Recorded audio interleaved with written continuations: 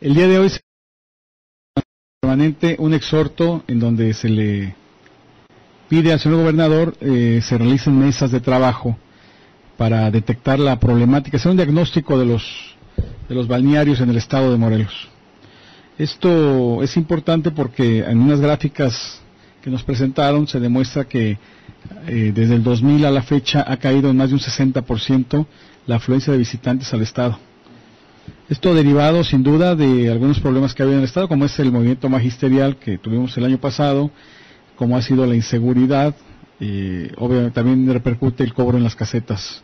Entonces es importante hacer un diagnóstico para determinar cuál es la problemática y poderla combatir. Yo creo que es importante que el fideicomiso del una cantidad importante para la reactivación en la de la economía y de la actividad económica de estas este, empresas turísticas.